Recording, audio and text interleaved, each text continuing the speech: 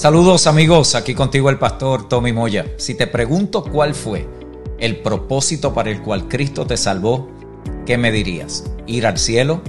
¿Escapar del infierno? Son preguntas importantes que requieren respuestas serias y responsables. Y esto es precisamente lo que mi amigo el pastor José Luis Reyes considera en su nuevo libro La manifestación de los hijos, una identidad clara con un lente correcto. Una de las declaraciones importantes del libro, entre otras, es la que dice que concentrarse en ir al cielo o escapar del infierno es mantener tus ojos en lo mínimo. El propósito de la salvación es mucho más que eso.